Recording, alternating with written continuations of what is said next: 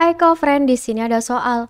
Kita menggunakan sifat jika P pangkat N sama dengan P dikalikan dengan P dikalikan dengan titik-titik sampai dengan dikalikan dengan P sebanyak N faktor. Lalu di sini diketahui A pangkat M.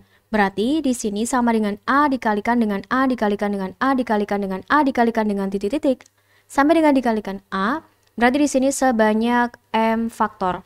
Lalu dibagi dengan A pangkat N berarti sama dengan A dikalikan dengan A dikalikan titik-titik sampai dengan dikalikan A Berarti dia sebanyak n faktor. Sehingga sama dengan berarti A, di sini pangkat adalah M, lalu dikurangi dengan N. Maka hasilnya sama dengan A pangkat M dikurangi dengan N.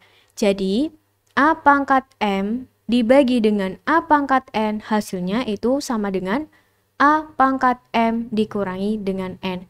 Jadi, inilah hasil akhirnya ya, kofren. Sampai jumpa di soal berikutnya.